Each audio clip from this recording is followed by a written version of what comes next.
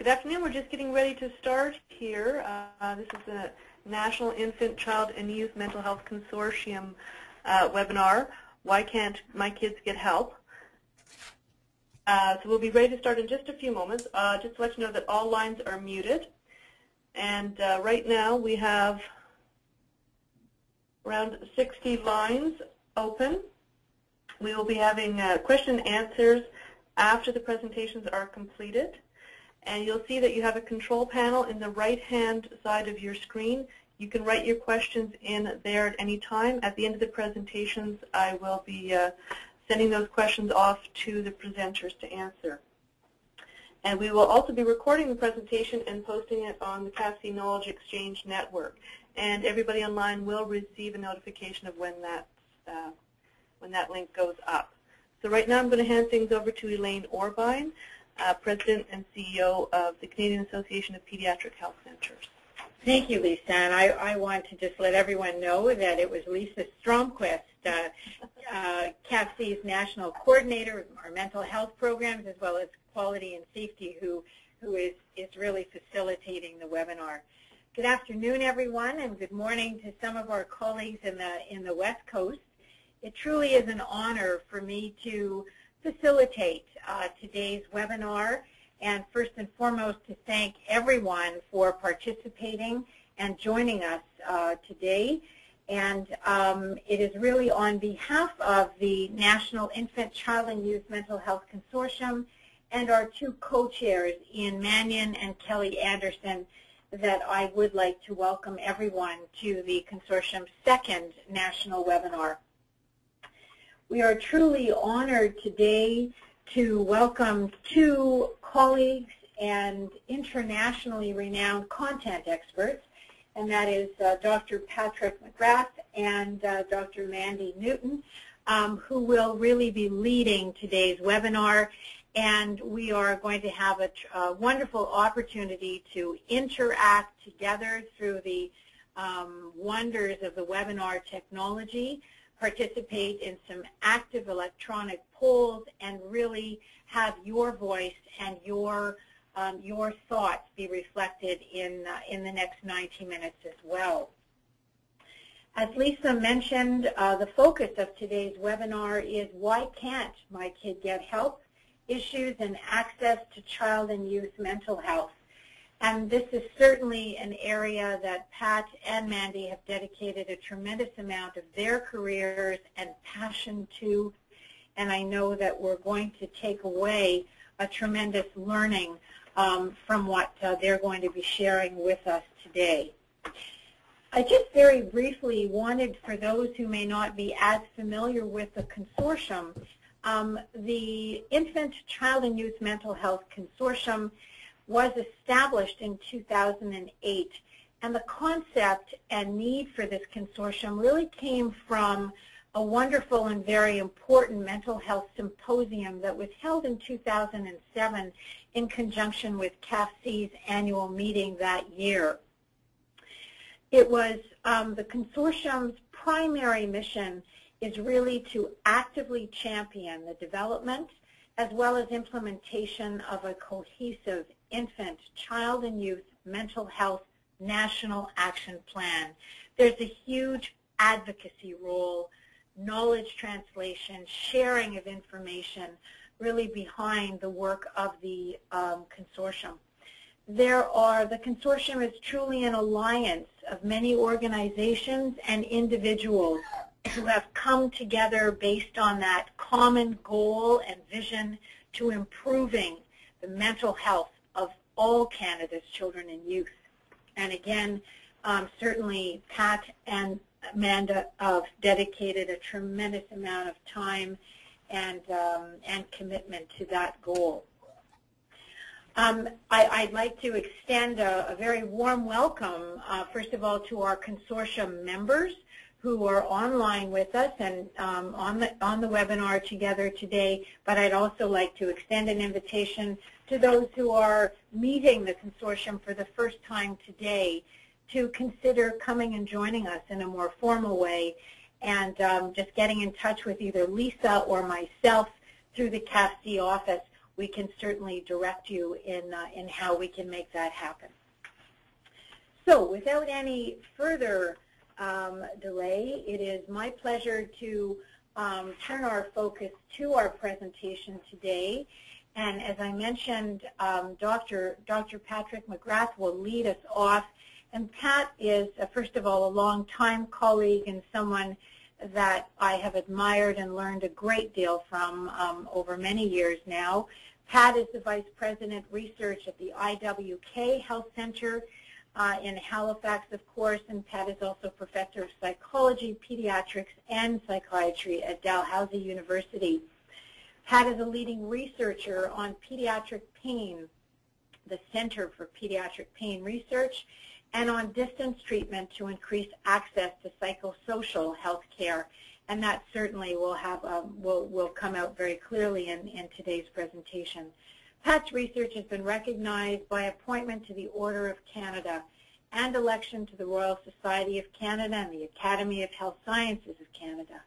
Pat has received numerous other awards, um, and, uh, and Pat's bio, of course, will, uh, will be posted with our podcast and uh, presentation from today's webinar. And uh, Pat, we are just thrilled that you can join us. Pat's colleague and, and um, also uh, internationally renowned content expert, um, Amanda Newton. Mandy is a clinician scientist and her training has focused on addressing multi-level change to improving the care of children and youth with mental health needs.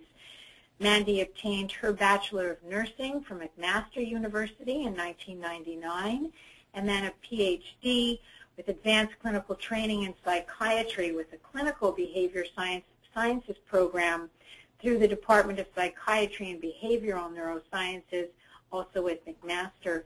Mandy has done a postdoctoral training in knowledge translation from the University of Alberta, and that was in 2007.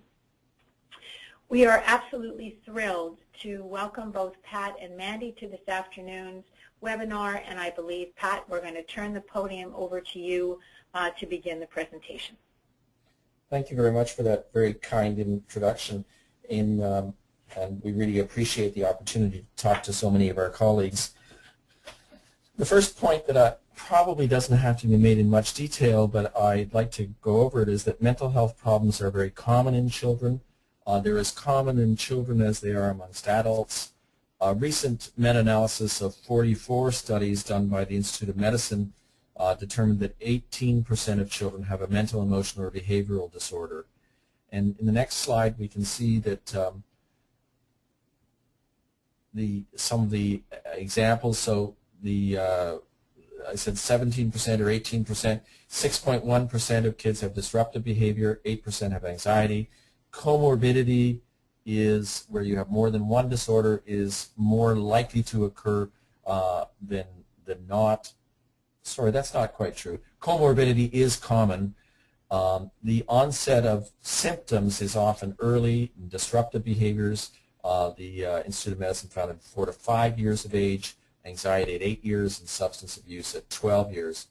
Uh, mental, emotional, and behavioral problems are linked to poverty not specifically to race or ethnic status, although of course those uh, groups that are, are generally poor have more uh, mental and emotional behavior problems.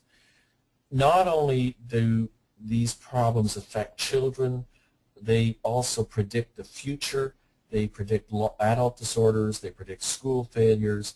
Um, children, when they are, are in their teens, are more likely to have unplanned pregnancy, more likely to be involved in crime. It has a huge effect on, uh, on, on families. Uh, parental depression is common. Um, it disrupts the family and, and has a huge cost to society in terms of, of issues like uh, failure to be employed and difficulty uh, with, uh, with the law. This is a graph from, again, from the, uh, from the um, Institute of Medicine, just showing the percent prevalence as you can see, there's uh, considerable variation in studies, uh, but you you can see across that the, the, numbers that are just under the graph show the numbers of studies that looked at it. So one or more dis disorders uh, is uh, the mean is around 16, 17, 18 percent. The uh, um, and the range, of course, is quite considerable. And then you move down to things like uh, like uh, panic disorder, which is uh, which is again, although important, is is a low number, um, and and you can see the variety in terms of the prevalence. And on the next slide, you see the uh, again the age of uh, first symptom and age at first diagnosis. One of the things that's important is is that uh, you can see that uh, oftentimes the the first symptom occurs a couple of years before the diagnosis occurs. The next slide shows the uh, a question for the audience, um, and this is, uh, ha I haven't said this, of course, is what percentage of children with a diagnosis of mental health disorder receive specialist care? Um, and this is, uh, you're supposed to answer this question on your slide. Uh, you can select one, 4 to 7 percent, 15 to 20 percent, 40 to 50 percent, or 75 to 85 percent. So if you can do that right now.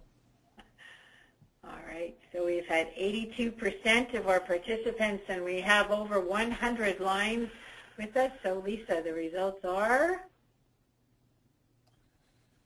So 7 percent, 60 uh, percent of people said 7 percent, 38 percent said 20 percent, 2 percent, 50 percent, and 0% 75 to 85%. Well, it's very interesting that nobody thinks that uh, 75 to 85% of kids who have diagnosable disorder receive specialist care, and about hardly anybody thinks that uh, even half of them. The correct answer from the best evidence that we have is uh, is about one in six children um, and this is the next slide. So the data is uh, from two studies in Canada, Waddell and, and, and Offord, as about 84% haven't received specialist care. So most kids, only 16% receive specialist care. Um, what that means, of course, is, is that either these kids are not being cared for at all or they're being cared for in primary care.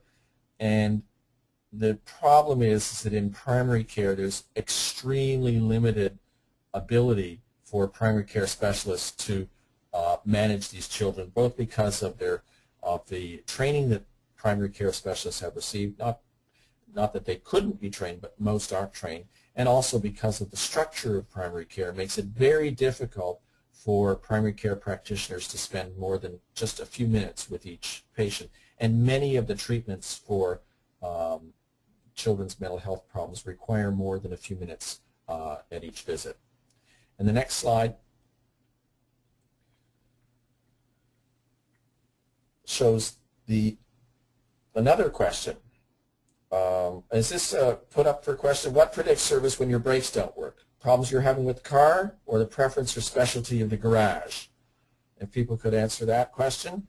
And you may say, well, why is he asking questions about automobile repair? But you'll see that with the next question.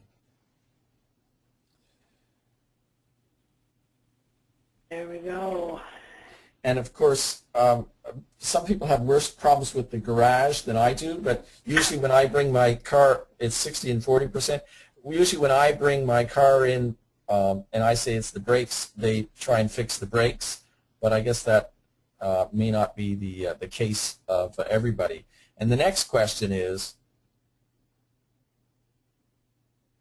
what predicts treatment when your child has a mental health problem? The problem of the patient or the preference or orientation of the mental health professional? And the answer is? And what people have said here is, is that, uh, that mental health professionals are, are in terms of the preference or orientation of mental health professionals is 71% determines what the treatment is going to be and the problem of the patient is 29%. And the point that I want to make with this is, is that I think, uh, as, as the audience does, is, is that the system is provider-oriented. You get what I give, not what you need. So rather than um, evidence, scientific evidence, or any type of evidence determining whether or not you get a specific off, uh, treatment, it's the kids. The treatment should be fitted with the kid's problem, not with the provider's orientation or preferences. If we were truly giving uh, service to families, that's the way it should be. Next slide, please. the care given is often perceived as not being family and patient-centered. I have no data on this except my own experiences the, and, and the experience of many of my colleagues that in talking to families, they often do feel that they haven't received the care uh, that was organized for them, it was organized for the professional. And this is something that is, is, is hotly contested by when I, when I suggest that to my colleagues. Um, the principles of, of um, uh, the Institute for Patient and Family-Centered Care for family-centered care is respect and dignity, listening to and honoring patients and family perspectives and choices. Knowledge, values, beliefs, and cultural backgrounds are incorporated into the planning and delivery of care. The information sharing is complete and unbiased. The participation, uh, participating in care and decision making at the level that they choose in collaboration with the patients and family in policy and program development. And my perception is is that often this isn't done, and, and some of the indications that I would say is is that um, many times, for instance, letters and and uh, are not sent. Sometimes they are, and, and, it's getting much better. But many times, letters are sent to doctors, uh, to referring agents that aren't shared with the with the family. Uh, records are often uh, hidden away. Um, families don't have access to their own records unless they uh, they get very stroppy about it there isn't the complete information sharing, and they don't participate in the uh, in the care and decision making. Oftentimes, services are delivered um, at times and in places that are convenient for the uh, for the professionals, not at times and in places that are convenient for the patients. Uh, next slide. Okay, so the access points for in Canada for mental health care, we have to understand it is not just the traditional mental health services. Um, there's also primary care uh, and GPs, family physicians, and pediatricians. There's also school counselors, uh, social workers, either in, in family services or in, in, in uh, many different uh, environments. Complementary and alternative medicine is also playing a role. Uh, the internet and web, and also families get a lot of information from self-help books or uh, columns or also one source that isn't mentioned here is, is the is, is availability of help from, from the clergy or from trusted family and friends. Which of the five services below do you think are utilized most by families? Psychiatrist, psychologist, primary care, GP, a social worker, counselor, other service not listed above, and that is for mental health services. And the answer is? Psychiatrist 1%, psychologist 1%, primary care, GP, family physician, and pediatrician 80%, social work counselor 11%, other service not listed above 7%. Mandy, do you want to talk this through, please? Sure. So this is the next slide, um, and I'll I'll go to um, Chung and Davis study, I guess, in 2007 here, because I think it, probably relates a little bit more. Um, so these were youth with major depressive disorder, and this study was done a few years back, but um, it does show in terms of youth seeking, uh, youth preferences for treatment seeking who they see, and I think it reflects a little bit of the audience's opinions in, in terms of who people go to. Um, and there were some striking differences between boys and girls, most not notably for social worker and counselor um, services, but some comparable preferences between GPs and family physicians or primary care, um, as uh, the polling question um, pointed out, and some differences between those youth that go to see a psychiatrist um, between boys and girls, 45% of boys. So Pat, I'll, I'll, take you back to the how parents seek help for their children, and then I'll skip over the other slide for you if you want. Okay, so the uh, parents, uh, on average, in a study by Shanley, and Reid uh, at Western Ontario and Evans at Western Ontario, University of Western Ontario, found that many families in Ontario, at least, were seeking help for at least two different child problems. They contacted at least five different agencies for professional help, and were receiving two different treatments. And that that is in the uh, in that area of the country. Um, my opinion, although I don't have any data, is is that that may not be true across the country, depending on the availability of of uh, options for service. So, for example, in Nova Scotia, there's there's many fewer options for uh, service. Um, from whom do youth prefer to receive treatment information from family physician? 48%, school 42%. Um, have we don't know if, if if since in the 10 years since then if the uh, uh, if the information seeking behaviors have changed. In a study that we did, uh, a couple of years, uh, a year and a half ago, is that uh, we found that uh, youth in, this was a sample from rural Nova Scotia, um, the preferences for depression treatment, and these were in general uh, kids, these were general population of kids, they were uh, uh, much preferred talk therapy with a family physician or a psychiatrist and a psychologist or a psychologist over medication. There was a strong preference uh, for talk therapy rather than medication for depression among this sample. In the next slide. So some of the challenges with our current mental health care system is the it's fragmented. There's a silo style of service delivery. There's poor communication between different service sectors. Um, certainly, uh, uh, you know, oftentimes social services doesn't talk to health. Health doesn't talk to the schools. Nobody talks to justice. Um, and all of these locations may be, um, may be uh, sources of treatment. The location, family, child barriers, uh, there's considerable. They have to often travel. Um, there's a lack of uh, enough psychologists, psychiatrists, and, and, and so on to provide the service.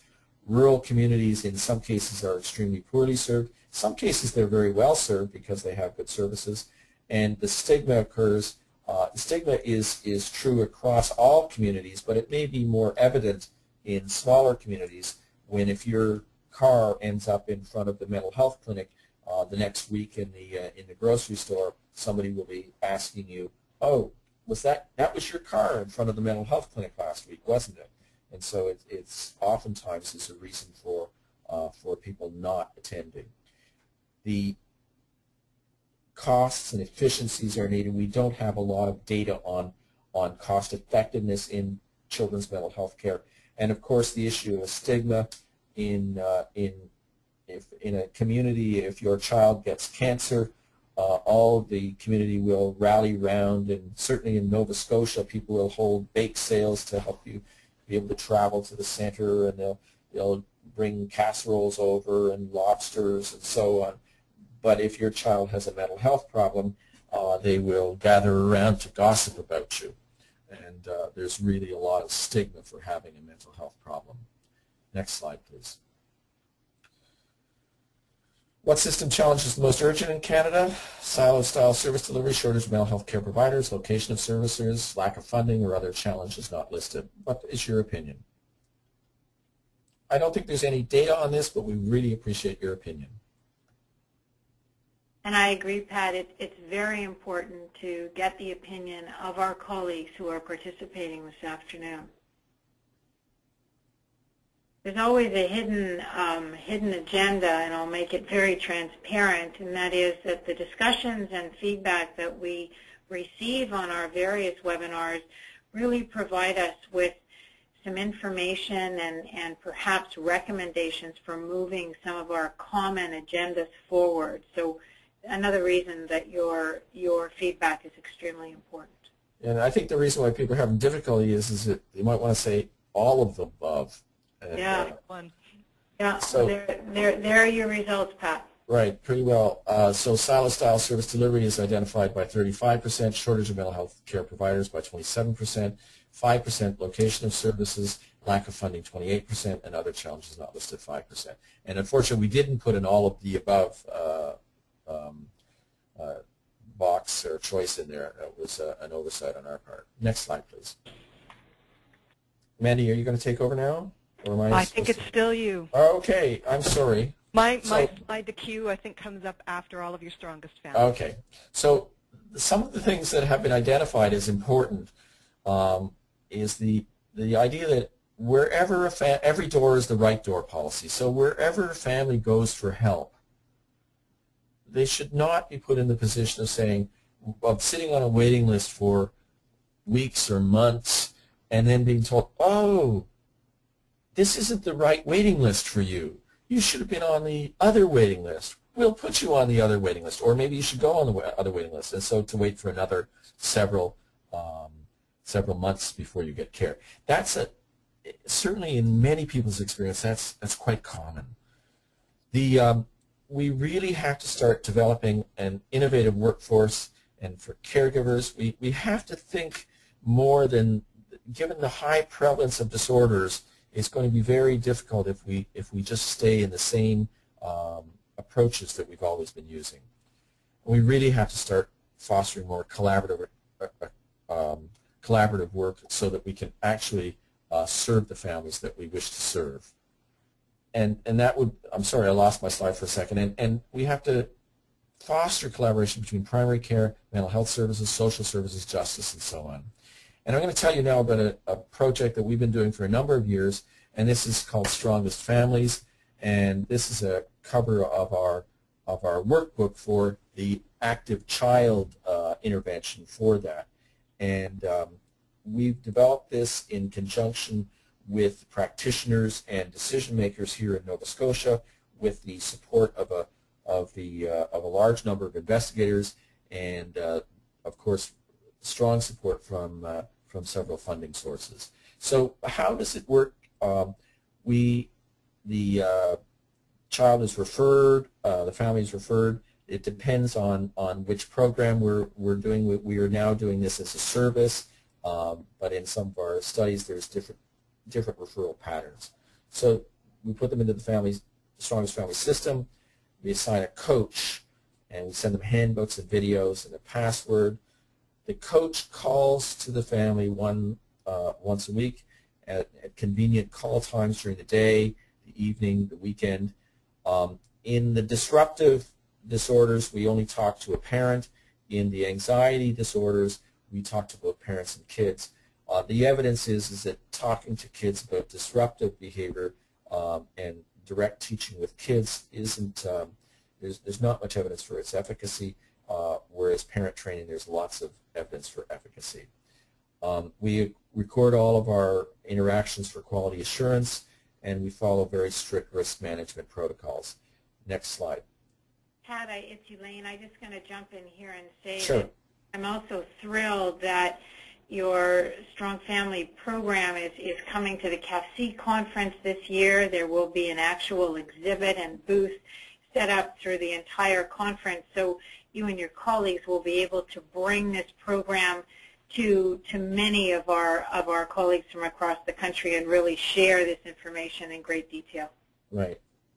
And what what this is is it's a it's a mental health intervention in which we teach skills to to families. Um, the first skill that we teach is uh, noticing the good. This is an example from our handbook.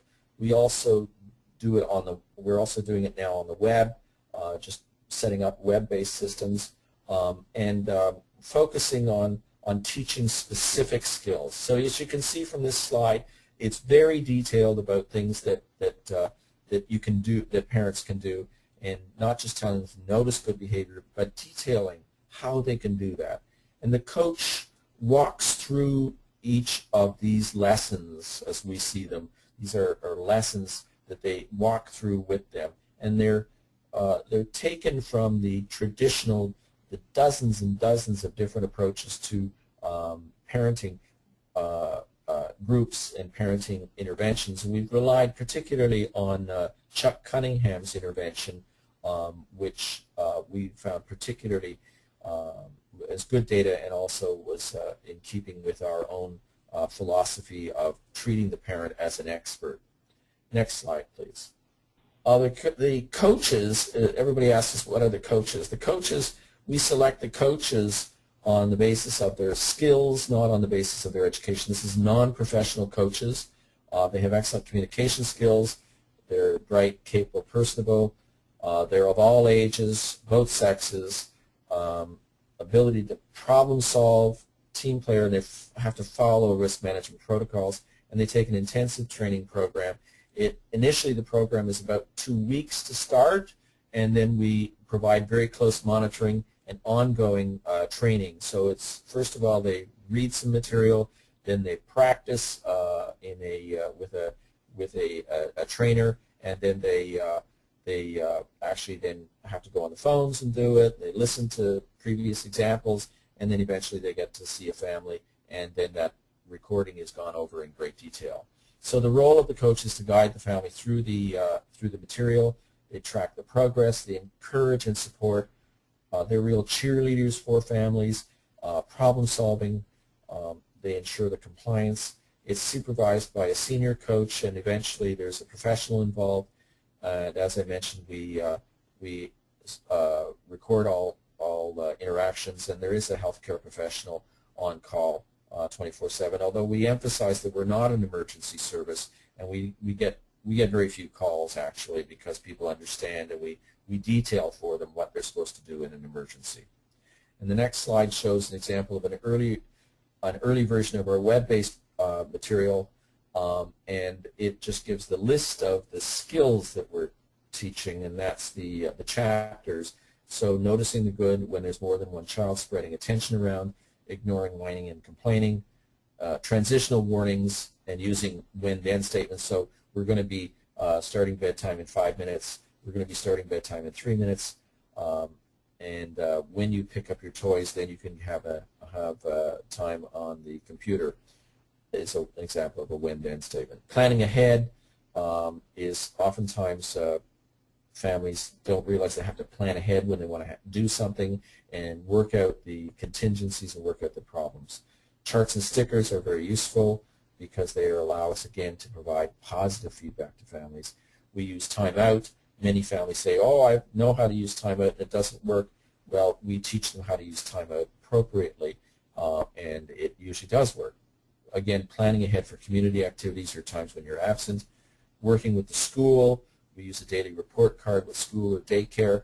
Uh, find it very effective. It has to be very simple for the family to use and for the teacher to use. And we teach parents how to approach their teacher. It is much more effective if they approach the teacher in a positive way uh, than in a negative way, telling the teacher what she's doing wrong. Um, so for each area we have uh, about four or five videos at least, and uh, the, to show the skills, and then the coach walks them through it, and we have the uh, the handbook or the uh, the material on the web. And this is um, this is uh, so there's a redundancy. We're teaching skills. It's it's not rocket science in a way, but it's harder to learn to change your behavior. Um, and many of the families that that not all of the families, but many of the families with anxiety have their own anxiety problems. Many of the families with uh, disruptive behavior have their have uh, difficulty in managing their own behavior. So it, it's a challenge, and our coaches uh, do a very good job. Next slide, please these slides are, are slow to change. I'm not sure why. Here's some more material from the this time from the anxiety module, teaching to give you an idea of uh, part of the things we do, and, and that is changing negative thoughts to positive thoughts. Uh, but as you probably all know, that the critical element in reduction and management of anxiety is actually uh, learning to face your anxiety and cope with the negative feelings uh, be able to tolerate some anxiety feelings and be able to go ahead and do things. So we teach the child and we teach the parent in the anxiety module. And again, we have videos and we have uh, um, we have uh, lots of examples and specific examples on on the uh, in the material. Next slide, please. Um, we use a coach's corner. Um, we we got that idea from somebody else in um, in uh, Don Cherry, and uh, we have a monthly group discussion with all of the coaches. Um, the issues are brought up by coaches and feedback from the director. Either I chair this or or Dr. Trish Pottie chairs this, who's the uh, uh, one of the other senior people. And we just have a free-for-all discussing uh, different issues with the coaches, issues that they found uh, challenging. they, of course, have supervision every week from uh, a senior coach, and that senior coach goes through every case, sometimes very, very quickly, uh, but sometimes you have a lot of discussion. Next slide, please. So the advantage to the families is, is that they're, they're, they are truly treated as a respected partner. We work with our staff a lot on customer relations, um, and uh, it, we want our staff to treat our families as valued, partners, not as people who have difficulties or problems. They have privacy by learning at home, convenient appointment times. Our staff work till um, uh, till midnight. Uh, on occasion, I was just talking to staff today, and she's she's going to be uh, working to midnight. Not on Friday. They they usually like to get off early on Friday, so we allow them to. We, we schedule have scheduling systems, and we're we're allow, we allow our staff to have a lot of flexibility. The key is is to hire staff with the expectation that they're going to be working um, these hours. Um, they, the families get consistent evidence-based care. The care is designed with the best science in mind. They don't have to travel. They don't have to take time off work. Of course, the materials are free. They have toll-free access when they want. And because we can gear up quickly, there's no waiting list. It takes um, 15 years to train a psychologist. It takes uh, a, a, much shorter time. These are some of our data from uh, a publication that's now in press at the Journal of the American Academy of Child and Adolescent Psychiatry um, and looks at the, uh, the first, there's three trials here, one for opposition defiant disorder, there were 80 kids uh, in it, and the outcomes were whether or not, they all came in with a disorder, and the outcomes were whether or not they had a disorder at the end. So what we see is, is that um, we get strong effects going across for ODD. We get strong effects with some wearing out after a year. So 365 days after randomization, there isn't quite as strong an effect. So, which suggests to us that they prob that families probably need more booster sessions. We do give typically 10 sessions and then two booster sessions, but they probably need more help uh, in maintaining um, their success. And these are fairly um, rigorous criteria so that they came in with a disorder and to be successful they had to leave without a disorder. ADHD, similar results. Again, a slightly different pattern, but, but pretty similar results. And what we see is, is that over time, be slight improvement over time with the kids with ADHD.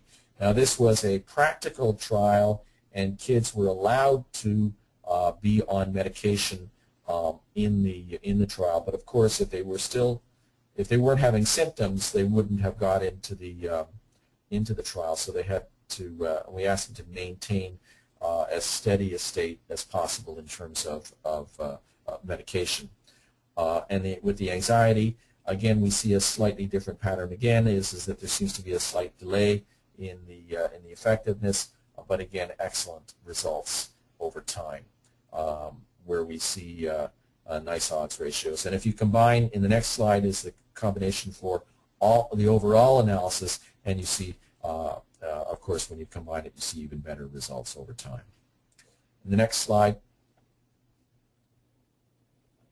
um, we've now um, implemented Strongest Families in a service component, and these are um, uh, uh, the effect sizes. This is taken from the BCFPI, the Brief Child Family Phone interview, and we took all of the we've we've we've uh, what we this graph represents is those kids that had clinical levels of uh, BCFPI scores and what the effect was over over time. So what you see is is that the uh, the uh, clinical levels um, are uh, substantially reduced over time. So you have kids in above uh, with the blue line before treatment and then after treatment you see substantial reductions and the effect sizes are, uh, are given in the green bar. Uh, next slide please. And this is your last one, Pat. Yes, and this is the uh, customer satisfaction.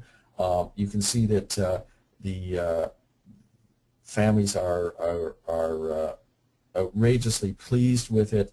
Um, and the, um, the only thing that is an area that I feel that we have to make a bit of improvement in is the, uh, although we should always be improving, is participation in planning because we're using uh, paraprofessionals in uh, using a defined curriculum.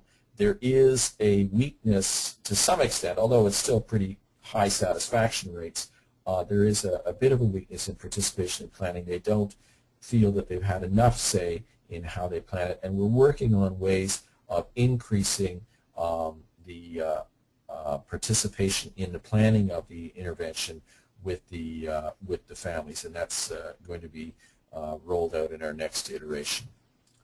And I'll hand over the microphone to Mandy now. Thanks very much, Pat. I'm going to put a disclaimer before I get started. While Pat was talking, a strange brown liquid started coming out of my ceiling. I work in a very old building, so Um, I'm hoping that the leak doesn't grow and I don't have to move. So I'll uh, try and keep my attention to the presentation, but every now and again I'm looking behind me to see if that unknown substance is leaking a little bit closer to me. Mandy, So I have to say that is a first. We've had hundreds of webinars, but that's a first. Very well. It's a first for me too. It's I, my building is very old. We're moving to a new one in two weeks, so the timing is clearly just right. so thank you everyone for uh, signing in. I'm going to switch gears a little bit and talk about what happens when families are in crisis and who goes to the emergency department, why they go, and, and what they might get or receive when they actually are in that visit. So for those of you that don't work in this setting, on a daily basis, kids and their families uh, go to the emergency department for a mental health crisis. And these crises may be the result of a, an existing problem that's deteriorated and known to the family, or maybe because of an undiagnosed or undetected condition. So this may be a first-time experience for some families. We know that the number of visits to emergency departments for mental health care has increased. U.S. data shows that this has increased consistently over the past 10 years, um, but we do have a lack of comprehensive data in, in Canada. We've been fortunate in Alberta um, that all of our emergency departments uh, consistently report their data to our, our government, and, and we're able to access those, access those.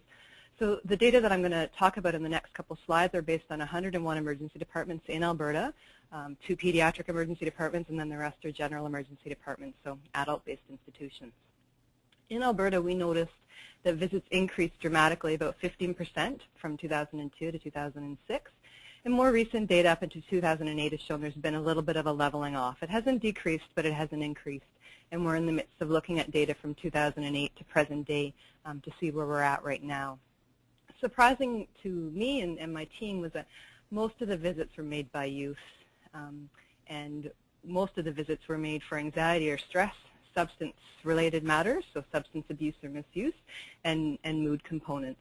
Um, there were significant increases for anxiety and stress. It was up 19% over that six-year period, and substance misuse increased by over 40% during that period.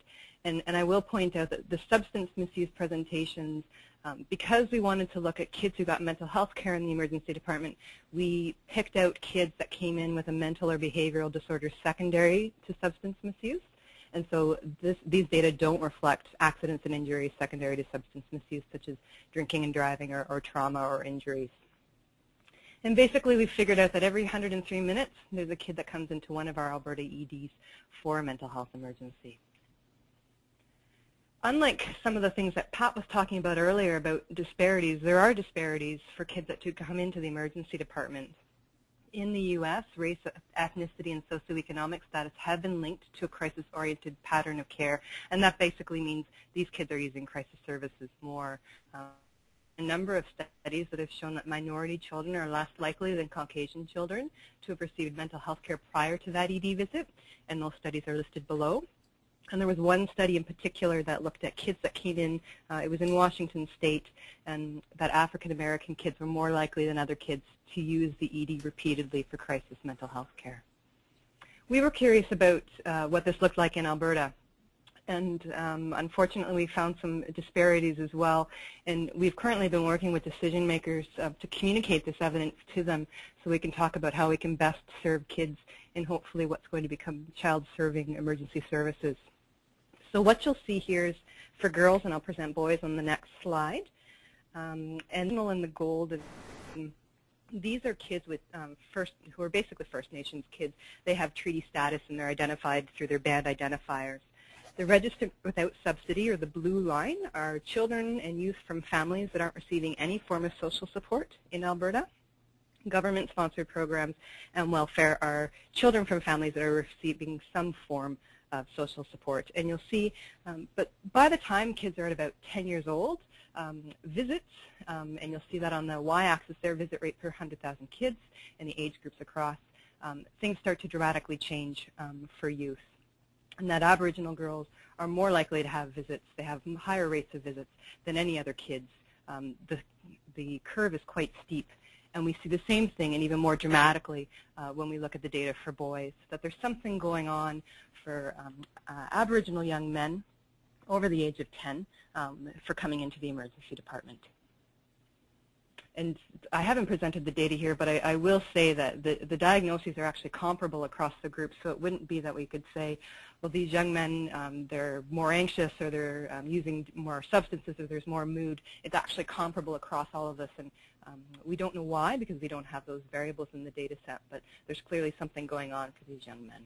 The Children's Hospital of Eastern Ontario, and I'm, I'm hoping Dr. Mario Cappelli is on the line here today, um, out of the hundred and so that are on, has really been a leader in, in terms of um, looking and trying to unpack why people are coming to the emergency department and, and what they're hoping to receive. And this was a recent study um, by Paula Cloutier and uh, Mario and their colleagues um, that asked caregivers and, and youth what their top concerns were when they came in uh, to the emergency department. And not surprising, these concerns were related to basic safety and emotional distress. And, and you can see them listed there, um, whether it's suicide-related thoughts or um, actions of self-harm and some mood components. What was exacerbating um, these uh, concerns about basic safety and emotional distress appeared uh, the top stressors were school, um, so that would be grades, um, friends, teachers, um, lack of communication and things like that, learning difficulties, uh, issues with parents related to fights, lack of communication, lack of involvement, etc., and then problems with friends and peers, um, not getting along with one's friends, dating issues, bullying, and so forth. So these are moderating um, some of the things that were going on in these kids' lives. Interestingly, from this study is that most patients weren't receiving mental health services at the time of the visit, and about half of the patients had no previous psychiatric diagnosis or history, suggesting that the emergency department may be the first door that many families open, um, but that hasn't been confirmed.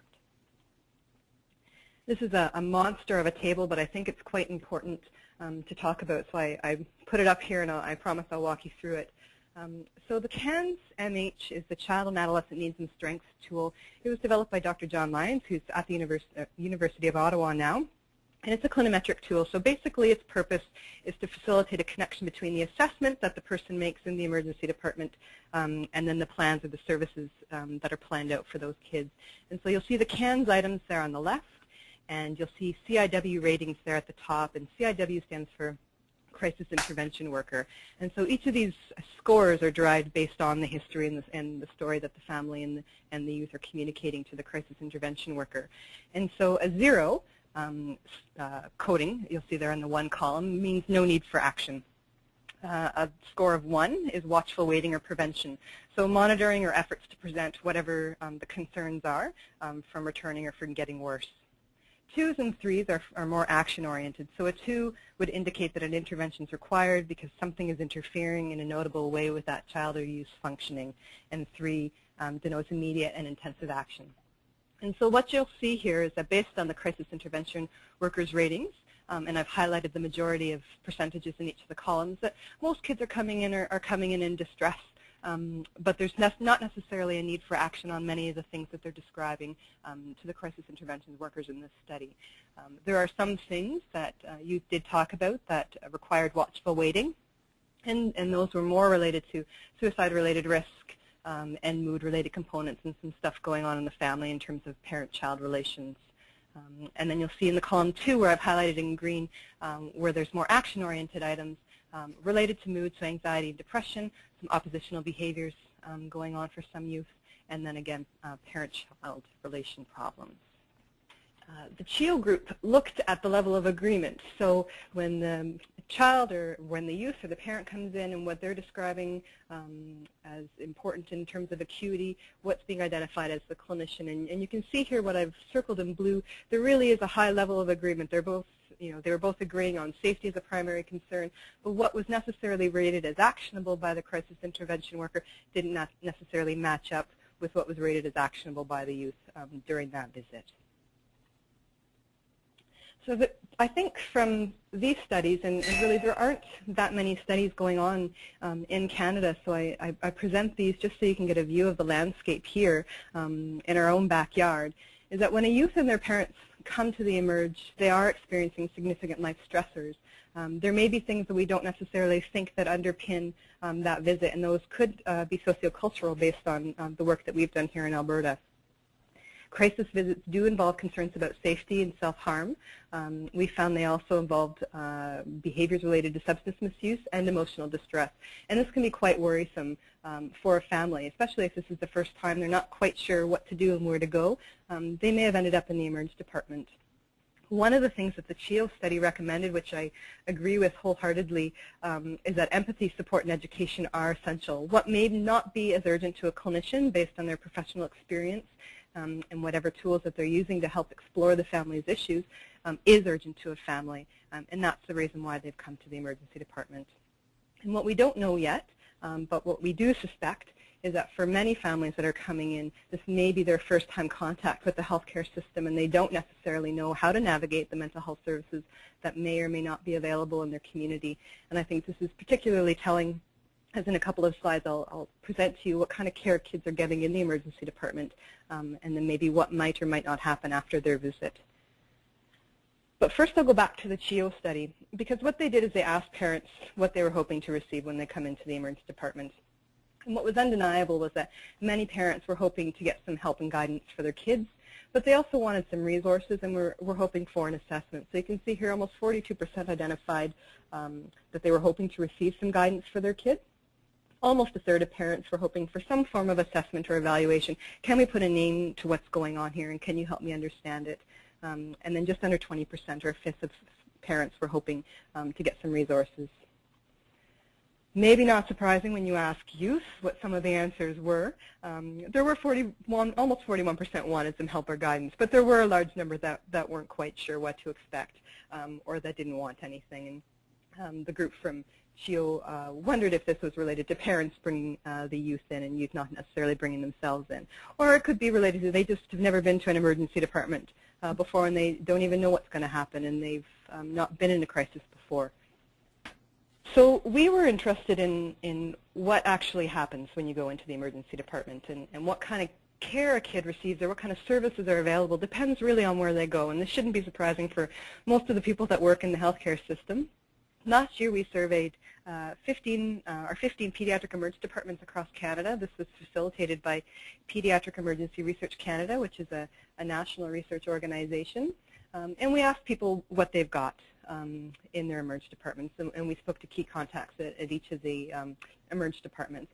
And so what you see here is that just over a third had a crisis intervention team, so this was a, a group of individuals brought together because of their mental health expertise, and, and each one of them would lend something different to a mental health assessment or, or um, helping the family deal with the concerns when they came into the emerge department. 40% um, had a mental health nurse um, that was dedicated to helping children, um, or a social worker. You can see just over 30%. Psychiatric consultation was a, a bit different. Now, the majority of the emergency departments noted that psychiatry was on site. So if um, it was warranted that a psychiatric assessment was needed, you can call the doc on call and they can come downstairs to the emergency department. Um, there are two emergency departments um, that did not have this, and so what it meant was uh, calling another hospital, getting a hold of the psychiatrist, um, they may or may not come in depending on what the concerns were. And at one other hospital, it meant sending the child to a different hospital for the assessment and then sending them back. So three different emergency department visits um, for them for a psychiatry consult. A small percentage of emergency departments did note having an evidence-based guideline tool or policy that they use to guide the decisions and the care that they're providing. There has been some talk about urgent follow-up clinics. So these would be for families that are coming into crisis with their child or youth. They're discharged from the emergency department and they have an appointment with this urgent follow-up clinic. And this is um, offered in six of our emerge departments. So I, I do have a poll for the audience. Um, what service or clinical care do you feel is the most important for the emerge department? Uh, there are five options there, ranging from risk assessment all the way down to referral. Um, and this will be quite interesting to answer because I'll, I'll, go on to talk about the care that actually kids are getting when they come in uh, to a couple of our emergency departments. Great. It's a Great question, Mandy. Mandy, while people are completing the poll, um, mm -hmm. the survey of the 15 emergency departments, that was of in, in children's hospitals. Yeah, it was pediatric emergency departments, that's right. right. And but most kids are seen in general emergency departments. You betcha, 80%. Okay. So we thought we'd start with our PEDS emergency departments. I mean, they're leaders in care. Um, and what services are they providing? Because I'm guaranteed if um, you know, those services aren't there. They're less likely in some smaller communities to be available in our, our general emergency departments. Right. It's a start. There's Yeah. way more general emergency departments. 15 seemed like a reasonable number. Yeah. They're just popping up right now. Thanks very much. All right. So interesting you say that risk assessment, 60% of you, um, is the most important, followed by referral. Um, I'll share a little bit about what we discovered uh, here in two emergency departments. So there are some American studies out there. They're very few and far between, and, and they're all retrospective studies, and, and this one is, is no different in some ways. But what differentiated the work that we um, have recently published is that um, we looked at the care that kids actually got. And the studies that are out there from the U.S. are basically saying that children's mental health visits are resource intensive. When they come in, they stay a long time. The length of stay is really long. They use a lot of crisis intervention services, a lot of security, and so on and so forth. And we were thinking, well, length of stay may be long because psychiatry may not be there, or you've got to wait a while for consult, or they're actually waiting two hours before they see a crisis team. Um, and so that contributes to their length of stay. So we wanted to know what are people actually doing with kids when they come into the emergency department. So we picked two different emergency departments to compare the care, and, and one was the Pediatric Resourced ED. So this is an emergency department in a children's hospital that has no on-site psychiatric resources. The other emergency department was a general emergency department that had psychiatric resources but no pediatric resources. Um, and I'll walk you through the results. So these are documented assessments. So my caveat to everybody on the line is it may have happened, but it wasn't documented. And if you're a healthcare provider uh, like myself and Pat, um, in the end, if it wasn't documented, it technically didn't happen. I'm, I'm hoping that the stats are actually, in real life, a little bit uh, larger than this. But you can see here that risk assessments were documented less than 50% of the time for kids that came into our pediatric ED and documented three quarter, almost three quarters of the time for our psychiatric ED. Not all kids got asked about questions about mood, and when we think back to the CHEO study with um, families having concerns about emotional stability and, and perhaps emotional dysregulation, um, that was asked and documented in less than a third of the cases at the pediatric ED and just over half of the kids that came in in, in the general ED physical assessments were surprising to me. Um, the kids that came that we looked at in our study, if they came to the pediatric ED, uh, the majority of them were going to get a physical assessment. They may not have gotten any mental health assessments documented, um, but the physician did perform a physical assessment, and less so at our psychiatric resource ED. Documented care. Um, brief counseling was really loosely defined. If anybody had documented something about saying some form of support to families, we coded it as brief counseling. So the quality isn't necessarily great, um, but it was documented that families got some form of social support, documented in less than half of the charts uh, at the pediatric ED and more than three quarters of the time in our psychiatric resource ED. Now, contradictory to the U.S. studies, there wasn't a lot of crisis intervention going on um, in our study. Less than 7% for crisis intervention in terms of restraints and security, 5% in our, our general emergency department, and many kids did not get any medications um, for acting out or, or for some extreme behaviors. Psychiatry wasn't always consulted in our study, and, and you can see that the stats are quite low. So whatever services they were receiving from the physicians, the nurses, or the crisis teams, um, it didn't necessarily involve a psychiatric consult. And I'll just walk you through the discharge follow-up plan, knowing that people found this quite important, as do I, especially when we think about this may be the first door that people open, um, is that emergency department visit. Um, we actually found um, that many families um, did not get any discharge follow-up plans, and, and we were unable to determine what that planning was in almost half of the charts at the pediatric ED and a third of the charts um, at the psychiatric resource ED. Now, you know, verbally families may have been told what to go do, um, but a plan wasn't documented um, at all for these families. So many families are, are discharged, or we believe that many families are discharged without knowing what next steps to take. And this could be a concern for families that don't know our system. There are several homegrown initiatives across Canada right now um, with attempts to improve the care that kids are getting in our emerge departments and increasing access to post-ED um, services after the visit.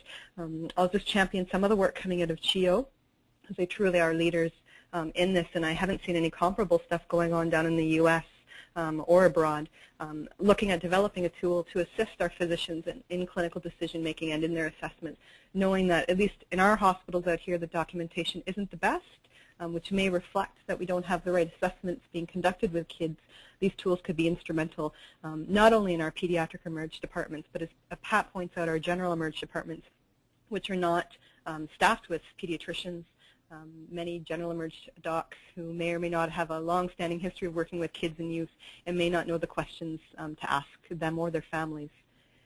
We've started to champion um, a tool. It's an inter-based program. It's called Check Your Drinking for kids that are coming in with substance-related complaints. Uh, we've partnered with IWK in Halifax and Alberta Children's just down in Calgary um, to deliver this to kids, and we'll hopefully be testing its effectiveness. And basically what this program does, it asks kids uh, questions on their drinking. It's given to them after they've sobered up, but before they go home, and it gives them personalized assessment feedback based on the answers that they provide. And our hopes are it's not mom or dad coming into the emergency department saying, what were you doing? You're drinking. You shouldn't have done that. Look at what you've done. It's not the doc or the nurse um, giving a lecture or saying, you know, you probably shouldn't have done that, look what happened. It's youth giving answers and getting responses back based on those answers to give them some feedback on, on the consequences that may happen and the things that are going on with their body based on their drinking. So st stay tuned. Hopefully in a couple years I'll have the same sorts of graphs that Pat just presented. So my last slide on, on the work that we've been doing in an area that I've been quite passionate about the children and families who come to the come to the emerge are in distress, and, and this visit may be the first time they are seeking help. Um, clinicians may not assess the crisis to be as acute. This extends beyond the CHEO study. We've seen it here um, anecdotally in Edmonton as well. Um, may not be as acute as what the child or parent is perceiving it to be. And there's a reason why they're going into the emerge. Nobody wants to sit there for a couple of hours if, unless they think it's really urgent. And in these cases, and for every kid, empathy, support, and education can be critical to helping family, um, families regroup, get sorted out, and figure out what they need to do for next steps. The thing that's probably most, one of the most concerning things to me is the type of care that a child or youth receives varies. And there are no national standards in Canada, and we haven't seen any abroad unless it's related to suicide risk and assessment um, to guide mental health assessment care and referral. And so basically, you get what you get where you go and who sees you. Um, and I strongly believe that access to evidence-based ED mental health care really is a basic right for families. It should be no different than when a kid comes in with a broken arm. We know exactly what we need to do with them, or they come in with a trauma. Um, it's prescriptive. You know what you need to do. Um, and I'd like to see mental health care go that way as well. So I'm just going to take the opportunity on um, behalf of Pat and I to summarize and ask one final question uh, to those that are still on the line. Um, and just to summarize, serious problems with appropriate access exist in Canada um, for child and adolescent mental health problems. Um, I think Pat's pointed out, and I agree wholeheartedly, that the driving force of the services that are available and how we deliver them should be based on the needs of children, adolescents, and their families. And we really do need a level of engagement um, to move forward the systems need to be rejigged. It's not been working to date. Some things work, some things don't, and we need new models um, to think about uh, some of the barriers that we we continue to have years in and years out. And so our question to you on, on behalf of the consortium and, and CAPC and, and Pat and myself um, is where the folks on the line uh, feel there should be efforts placed in the next three years. And there are five answers there, and um, this may be one of those ones where you want to click all five, but if you could show preference to just one, that would be great. There are your results, Mandy. I hope you see them. I do. So 69% of respondents uh, answered number two, fostering collaborations across our child-serving systems, and definitely for families with complex needs, that is a bear to navigate. And the second most popular answer was developing innovative workforce and care models um, to deal with some of the barriers that continue to be a problem. And our third most popular, consultation with families so some stakeholder engagement. So at this point, Elaine and, and, Lisa, I guess Pat and I will turn it over to you to facilitate a, a Q&A period. Hey, so, so again, Pat and, and Mandy, thank you so much. Um, we do have a number of questions, and I'm going to turn this over at this point to our facilitator, Lisa Stromquist, who's going to put out the questions, and we'll direct them to uh, Pat and Mandy. Sure. We have a few comments and a few questions, and people can feel free to, to write in any other questions or comments uh, as we uh, start this, uh, this uh, section. So uh, from Chaya Kulkarni from uh, the Hospital for Sick Children. While I have found the information shared in this presentation to be interesting, I'm startled at the omission of the mental health needs of infants and toddlers. I receive calls weekly from parents, physicians, social service workers, distraught because they cannot get mental health services for infants and toddlers. Why have you not addressed the unique needs of this group in the presentation? Will you reconsider and include at least one slide about the limited, if any, in some communities, availability of infant mental health expertise and services, and explain to those you reach uh, just, just how important early screening and intervention is critical? Well, I couldn't agree more that infants and toddlers are, uh, are, are, are, even in the inadequacy of the research and the practice that we have, infants and toddlers with mental health uh, needs are are underrepresented. And I uh, I uh, I don't apologize, but I just uh, acknowledge that uh, that wasn't part of our presentation. Yeah, I have to. I echo what Pat says. It's those kiddos are a little bit too young for the work that I do. Um, I do know there are other experts, and maybe that points to us needing to do um, invite someone to do a webinar on this because I, I, agree it is critical. Uh, we don't see as many families, young families, in the emerge with those issues, and that may be because they're accessing different sorts of resources. Um, but I unfortunately don't have any information on that. That's, a, that's certainly something that the uh, consortium can look into and and perhaps um, uh, get some further information about having another presentation directly on these sorts of topics. Mm-hmm, or under fives. Yeah. Ab absolutely. Yeah. Absolutely. And uh, there's a question um, to you, Pat. Uh, some, uh, Christina McLean is asking, uh, did you say the coaches are volunteers? No, the, um, the coaches that we have been using in our studies are not volunteers. They're paid um, at a, uh, a rate that's uh, better than most call centers, but uh, not as certainly not as much as a psychologist. We found that um, we haven't done work with volunteers, and that might be a, an opportunity. Uh, we found that for our first efforts that we thought that we would use um, paid employees, we have more you have more control over them and more ability to um, uh, to schedule and to uh, to make things happen. But the uh, possibility of using volunteers is one that we've uh, thought about but just haven't implemented. And uh, Don Buchanan's asking what uh, screening tools you're using. Um, the tools that we're using for the trials vary with different with different studies. In the trial that I presented, we were using the the the what is it called? It's structured interview.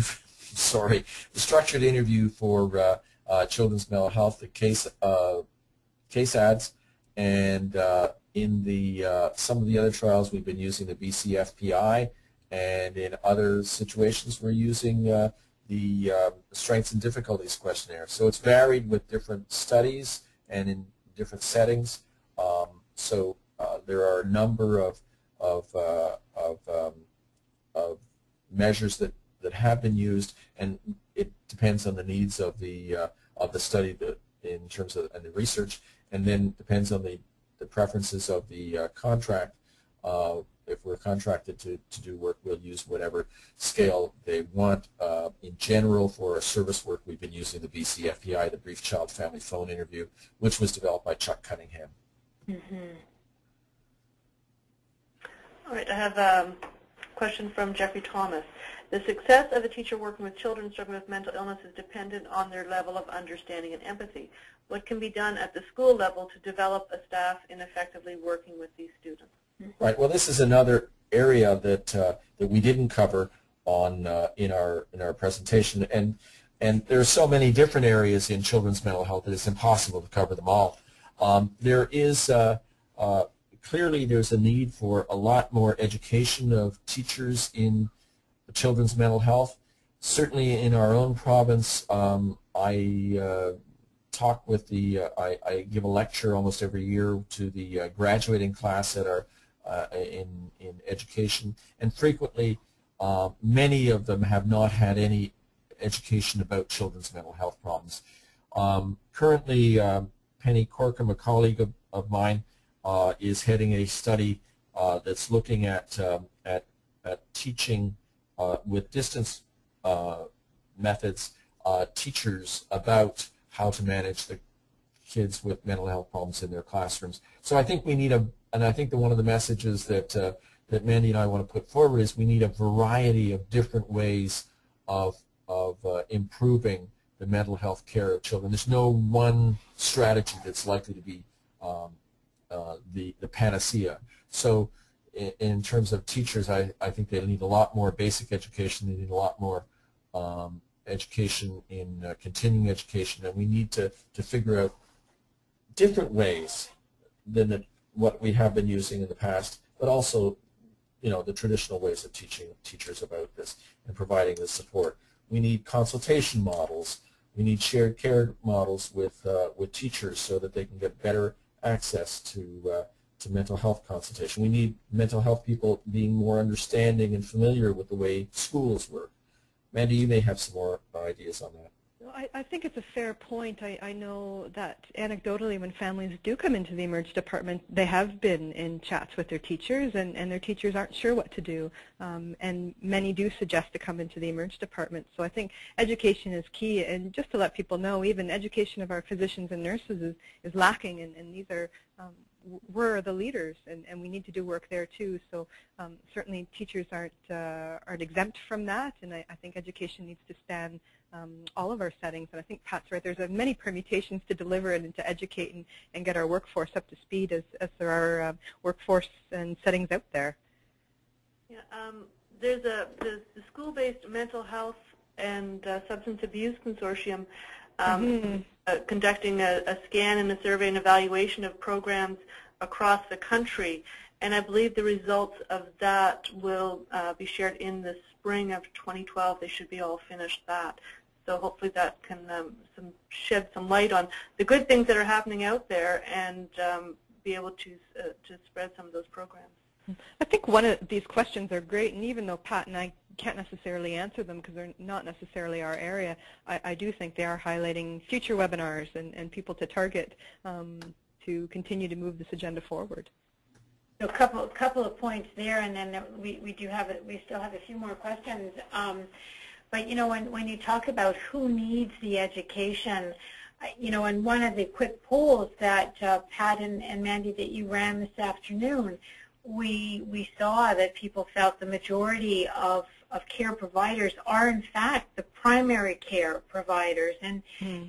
and again there when you talk about education and training and a really good understanding of the challenges surrounding children and youth, infants, children and youth with mental health uh, problems, I, I, think we have to really consider that as well. That's certainly feedback that I've received through the work that CAPC does many, many times. Yes, and I think the, uh, the, the, one of the challenges that we have is, is that um, there's very, very little understanding, very uh, understanding of what happens it, to children when they go to primary care for uh, mental health problems. Um, and you know, it, it, it, the uh, the confidence that many um, family physicians have in dealing with mental health problems with kids is, is really quite limited. We do need to uh, to do more research on that as well as an awful lot more training. But we don't even know what the effects are of primary care interventions in children's mental health. So we need a lot more work in that area. Absolutely, because we have to recognize that those are the primary providers. Yeah. Yeah. Yeah. So I have uh, some more comments here and questions. So Ellen from McMaster Children's Hospital. We have some wonderful resources in children's mental health in the Hamilton area. However, the wait lists are horrendous. Addressing some interim supports for those on wait lists may be an area to focus on. Families feel forgotten between the initial crisis and the actual start of services which can be quite lengthy. Yes, I'll, I'll start because I, I, know Pat, your strongest families was in fact that. Uh, yes. We couldn't agree more from the emergency department perspective. We know that um, the median wait time for kids is, is like a month um, before they see someone, um, and that's after a crisis. And so uh, we do need to have some interim supports. They may not even be on a wait list, for goodness sake. They may have, you know, had one emergency department visit and then nothing because they didn't um, receive any discharge plans. Um, so Ellen, you're precisely right that a lot of work needs to be done in this, and, and Pat's been a leader in this. And the other the other thing that's really important, I think, is is that to realize that that we need a variety of different ways to help families, um, and so um, we we're not. I, I don't think, for instance, our strongest families is the is the solution to everything, but it does provide one more way uh, for families to get help. And we're currently uh, providing that to uh, families in Calgary and in uh, Cape Breton and various other areas of Nova Scotia and to one health district in Nova Scotia. Um, and uh, so that, I, I, but I think that we have to start being really creative. There is a huge burden of, uh, of illness here and a lot of good interventions that could be used and the kids that need the help just aren't getting it. I have uh, more uh, comments here. As an emergency psychiatrist, I would like to highlight the importance of resiliency factors such as strong, deep attachments between child and a parent. It appears to be that for a variety of reasons, today's youth have weaker relationships, connections, attachments between their parents, which is thus making them more vulnerable to the vicissitudes of life, such as stresses at school, with parents, etc. Even when parents or youth do not particularly identify attachment as an issue, invariably it is strengthening the parental bond, uh, which I found universally effective in getting youth discharged or getting them over their anxiety. When you are closely attached to a parent, you feel secure and it no longer becomes the end of the world when there is a breakup uh, with a boyfriend or a girlfriend or some bullying or anything like that. And my hope is to highlight the importance of strong parent-child relationships. So we need more social policy to strengthen these long-known resiliency factors. I, I agree. I think that the CHEO study highlighted that family problems and, and the crisis intervention workers' assessments um, were a problem, and, and, whether that's a function of attachment or poor attachment or disorganized attachment. I mean, I, that didn't assess that, but uh, we've also found that when kids come into the emergency department, the older they are, the more likely they come alone um, or with friends, and, and where's mom and dad? And sometimes mom and dad don't even come and get them from the emergency department, um, and that may be a function of the issues that you're pointing out as well. Yeah, I think one of the biggest challenges is is that the um, you know children are not randomly distributed to parents, and, and the, the children with the uh, with the temperaments that are most difficult are often um, in in uh, are often in families where the parents have most difficulty. But in my experience, there are there are very few parents that don't want the best for their kids. They may not know how to do it. They may not be delivering it, and strengthening the relationship between the, the child and the parent is, is obviously the first thing that we try and do in our intervention. Uh, and simple little things like noticing good behavior. Um, most parents of kids of disruptive behavior, four, five, six, seven, ten, they when the kid is is not being um, troublesome, they ignore the kid, and that's not because they're not good parents. That's because they don't know what to do. Because my gosh, if I don't, if I if I do anything, I'll just start, you know, the problems again. And so I, I think, you know, the the parents do want to know what to do and do want to, to help their kids. Oftentimes they don't do it, um, but we should be figuring out a lot of different ways to value it. And certainly um, the social policies to enhance that are important. Um, I'm very in favor of the, and, and there's uh, I, I, don't know if studies have been any studies have been done to show it, but for instance, extended maternity leave is um, is a very um, potentially may well enhance the relationship between the uh, the infant and and the uh, and the mother when she has the time because of the the, the very relatively good maternity leave provisions that we have here in Canada. So many circumstances around you know situations like that, and and I think often they're not considered. So to to your point, Pat. So I have a from uh, Robin Mosher. Please elaborate, if possible, on the relationship between poverty and mental health issues in children and youth. Is it possible that one of the reasons that this strong family outcomes for particular issues lose strength after one year because poverty persists in these families? Mm -hmm. Um, we don't know why uh, we have difficulty, but it's not uh, maintaining the uh, relationships or maintaining the, the, the effectiveness. Um, it's, um, it's not surprising that behavior change is difficult, and uh, it's not surprising to me at all that, uh, that after a year, um, people don't need a little bit more help. I mean, we, we have this notion oftentimes in mental health that, uh, that one intervention should last forever. Um, we don't have that same notion in the common cold. Um, you treat your, we don't even have a good treatment for a common cold, but you know you get a cold, you get over it, you get it back again. Um, and you know, as circumstances change, and certainly poverty produces huge stresses on families, and that's the, the re where the relationship comes. Um, if you're if you're poor, um, you're you're likely to have poorer housing.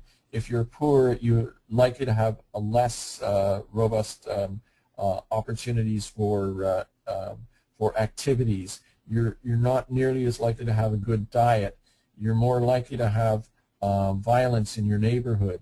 You're more likely to have uh, a poor school, um, a school with fewer resources uh, than than than if you're well off. So poverty is a uh, is a um, is pervasive in predicting um, mental health problems.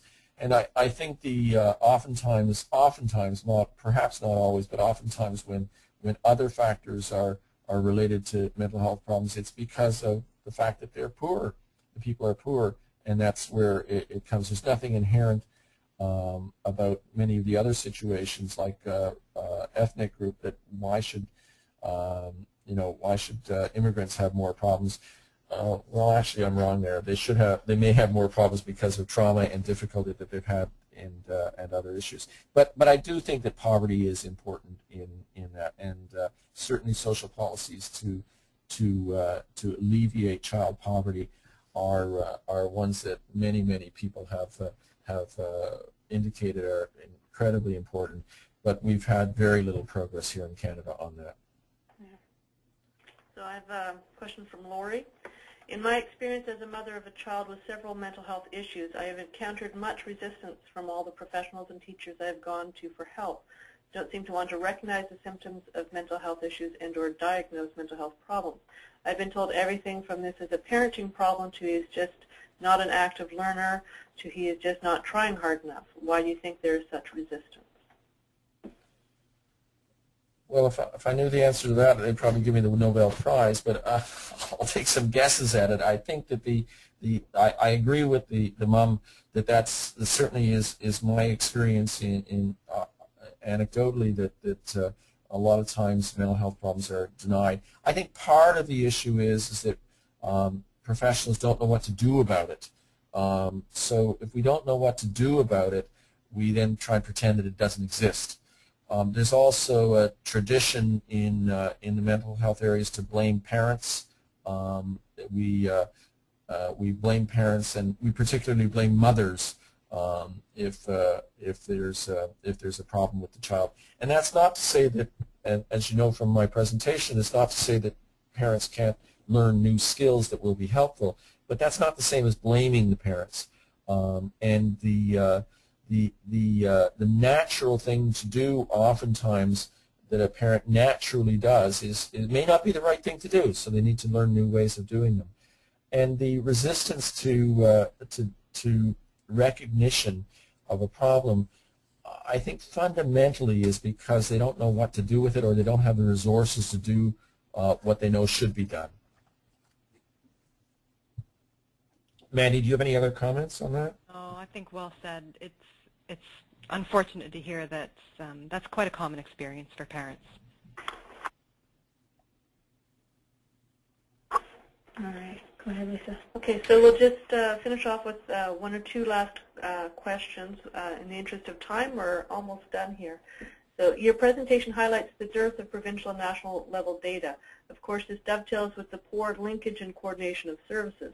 Could you please comment, read the current status and future directions to address this? Well, simple questions here. Uh, I, well, I think that I think that there's a couple of things that, that have to be done. Um, healthcare itself is a provincial responsibility, and and fragmentation into different systems has been pretty common. So national organizations such as as the one sponsoring this um, this webinar are incredibly important to link uh, people across provinces we need to we need to insist um, that uh, that that we need to get better data um, from our governments. So, and and the far too often um, what we've had is situations where each jurisdiction or each uh, sub-jurisdiction uh, either doesn't collect any data or collects their own idiosyncratic data. In fact, idiosyncratic data isn't uh, isn't so terrible if you can actually get people to collect data, and and the information often just isn't available. It's very very frustrating to try and figure out how to plan for better health services if the data isn't there, and we just have not invested sufficiently in uh, in uh, in the uh, the collection of data for uh, planning purposes. Uh, Mandy? Yeah, I, I'd echo that and also add that um, it's, it is our responsibility to advocate for what is collected, and often what's on the radar to collect at an administrative data level um, is not necessarily as helpful to those making policy and, and, programmatic decisions, or, or for, say, a researcher like myself trying to figure out um, why are, are Aboriginal youth coming into the emergency department more than other kids. And so the data can only be as limited as what, as what we're collecting. And um, I, I, advocate here in Alberta, I'd uh, uh, strongly uh, suggest that others advocate. If you, if you want to know things and, and, you want our government to collect things, um, we should voice that. And then let me let, me push that button a little bit further, and, and I, I'm, I have to be conscious of the time as well. But how do you do that, Mandy? Pat? I don't know. I don't, I don't even know if I'm doing it well. like, how, how do you push that that button? That, that it's a big button. How do you push it? Well, and I mean, who do you even contact, right? I think for us it's been five years of, of building relationships and figuring out who's involved, and then all of a sudden the government changes and it's a whole new set of people. Um, so it's trying to be nimble uh, with who's in charge and, and how portfolios are changing and, and trying to be at the table when those decisions are being made and changes are being made. Um, I don't think there's any steadfast rule, and I'm having difficulty navigating it myself. It's a bit some quicksand out here in Alberta, so it's, uh, it's tough especially when your buildings are falling down around you. the leak has stopped.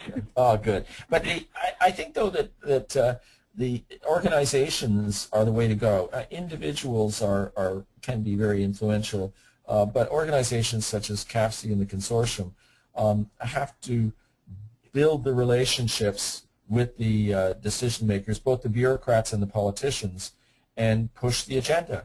Um, now we we've seen some outstanding failures in that when you know with, when the uh, when Stats Can uh, stop uh, you know requiring the you know collection of data and and change their has changed their format. And we have to be vigilant. We have to let our members of parliament know that these are important. Statist data sounds very boring, but if you're going to do any planning, you need the data.